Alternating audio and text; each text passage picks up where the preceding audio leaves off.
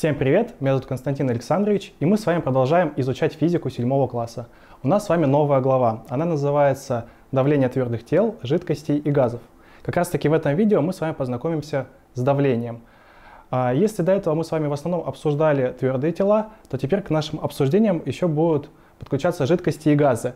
И также мы обсудим в этом видео передачу давления жидкостями и газами и узнаем, что такое закон Паскаля. А начнем с опыта. Попробуем а, обычный лист бумаги проткнуть сначала пальцем нашей руки. Как бы мы ни пытались, это довольно сложно сделать. Теперь попро попробуем проткнуть тот же самый лист бумаги, но уже с помощью ручки. И примерно при тех же усилиях нам удалось это сделать достаточно быстро. А, давайте разберемся, почему это так произошло. Значит, вывод какой можно сделать из рассмотренного опыта. А, можно сказать, что результат действия силы зависит не только от ее значения, но еще и от площади той поверхности, на которую эта сила действует. Значит, у нас сначала был палец руки, который действовал на бумагу, потом у нас была ручка, а, действие, которое мы оказывали с помощью пальца и ручки, примерно одно и то же, но вот площадь, которая соприкасалась с листом, она была разная. Поэтому результат мы получили разный. С помощью ручки мы смогли проткнуть лист бумаги.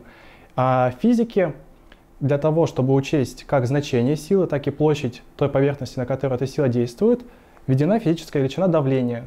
Давление, еще раз, это физическая величина, равная отношению силы, действующей перпендикулярно поверхности, к величине площади этой поверхности. Значит, давление физики обозначается латинской буквой P, а, маленькой буквой, если что, а, большой буквой P напоминаю, что обозначается вес, который нам также будет встречаться в физике.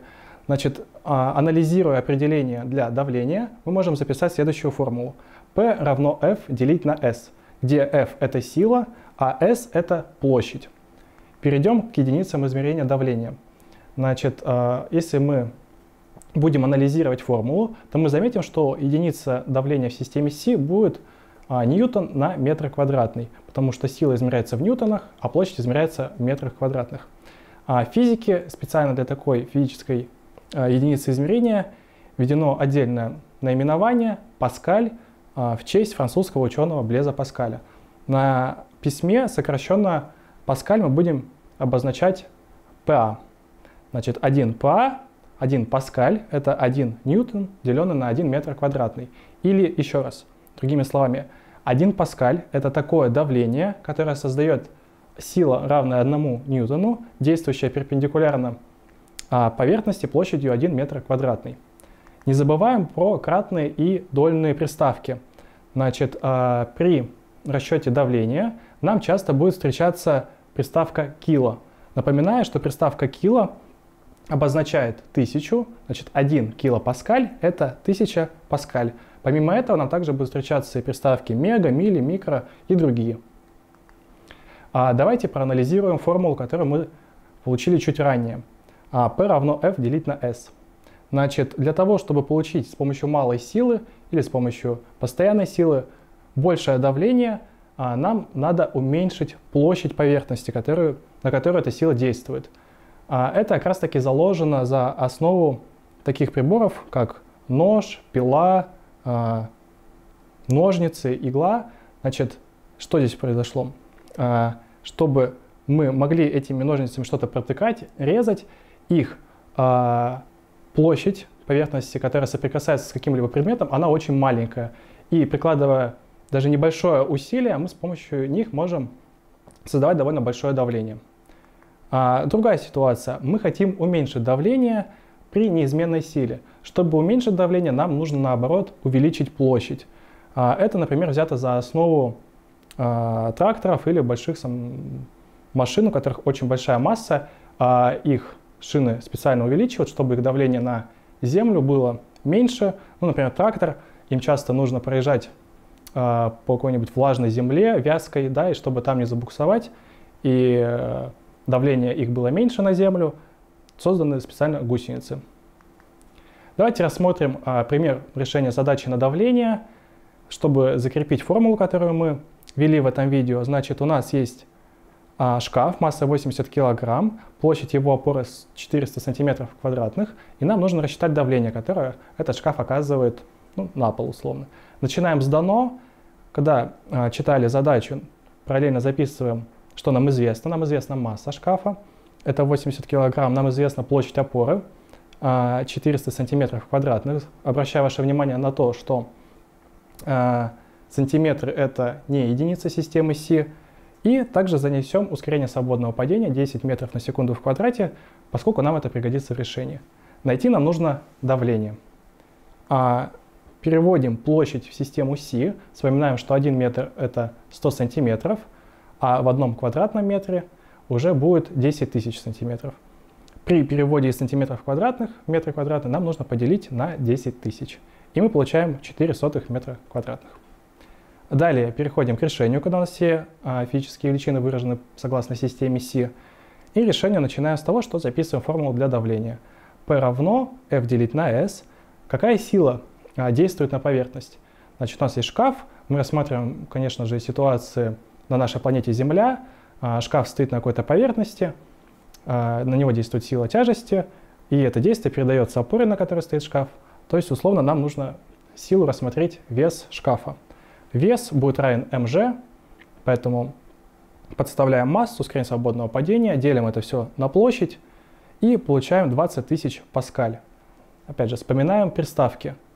А, тысячу можно заменить приставкой кило, и ответ наш сократится, будет 20 кило паскаль. Конце еще раз записываем ответ и указываем давление, которое мы получили при решении задачи. Давайте перейдем к обсуждению давления в газах. Если с твердыми телами в целом все понятно, они передают э, свое давление по направлению действия силы, то с газами намного интереснее. Э, вспоминаем, что газ — это такое агрегатное состояние, в котором молекулы э, практически не взаимодействуют между собой, и в целом молекулы большую часть времени проводят спокойно двигаясь по объему, который предоставлен им. Значит, а, давление в газах, соответственно, создается за счет того, что молекулы, которые находятся в каком-то сосуде а, или в каком-то определенном объеме, они за счет своего движения постоянно ударяются о а, стенки сосуда, и так раз таки за счет этого создается давление. Ну, например, вот мы надули шарик, мы накачали его воздухом.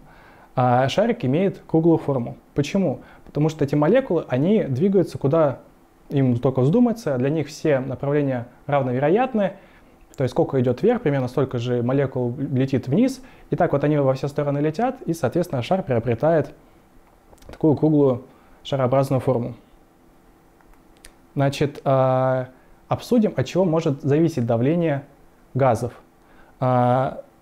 А, достаточно провести несложный эксперимент. Возьмем сосуд с газом, а, к этому сосуду прикреплен поршень, который может двигаться с одной стороны, а с другой стороны поместим э, пленку тонкую резиновую, которая может э, при небольших усилиях деформироваться. Значит, будем уменьшать объем в этом сосуде за счет того, что будем вдвигать поршень. Мы заметим, что при уменьшении объема эта пленка, она немножко подрастянется. Это означает, что давление внутри сосуда возросло. Еще раз, при уменьшении объема давление газа оно а, будет возрастать, если а, масса газа при этом будет не меняться. Ну и, соответственно, если мы, а, наоборот, а, увеличим объем, как на крайнем правом рисунке изображено, да, то есть выдвинем поршень наверх, соответственно, а, у молекул а, газа будет больше а, объема, по которому они могут летать, ударов о стенки будет меньше, и наша пленка резиновая, она наоборот вогнется немножко внутрь за счет того, что вокруг нее существует атмосферное давление. Также давление зависит еще от температуры. Как мы знаем, при увеличении температуры темп хаотического вот этого движения молекул, он возрастает. И если мы будем увеличивать температуру, эти молекулы будут более интенсивно двигаться по объему, они будут все чаще и чаще ударяться о стенки сосуда, и это будет опять приводить к увеличению давления, которое они оказывают на вот эти самые стенки. Еще раз, повышение температуры газа в закрытом сосуде, оно приводит к увеличению его давления. Значит, переходим к формулировке закона Паскаля. Этот закон, он справедлив не только для газов, но и для жидкостей. В чем заключается его суть? Значит, давление, оказываемое на жидкость или газ, передается ими по всем направлениям без изменения. Что это означает? Ну, например, наберем э, в пакетик воду, этот пакетик закроем, и если мы будем давить на этот пакет, то э, он в конечном итоге разорвется, и дырка, которая э, появится, она может быть в любом месте, если вот этот пакетик, он сделан из однородного вещества. То есть э, вот это давление жидкости, оно будет оказывать во, по всем направлениям одинаково при нажатии, но найдется какое-нибудь местечко, где э, у пакетика условно меньше материала будет, и там появится дырка. Ну а так, если пакет был бы у нас идеально однородный, эти дырки бы должны были появиться везде одновременно. Как раз таки, чтобы а, проверить закон Паскаля да, и более наглядно с ним ознакомиться, существует такое устройство, как шар Паскаля. Значит, из чего состоит шар Паскаля? Он состоит из стеклянной трубки. А в этой трубке есть поршень, который может по ней двигаться. И а, с другой стороны трубки укреплен полый шар с а, маленькими отверстиями по всей его площади поверхности. Соответственно, в трубку мы можем набирать воду или газ, и при вдвигании поршня мы заметим, что струи жидкости или струи газа, они будут вылетать со всех дырок одновременно. Значит, закон Паскаля, он подтверждается экспериментально. На этом у меня все. Всем спасибо за внимание. До скорых встреч.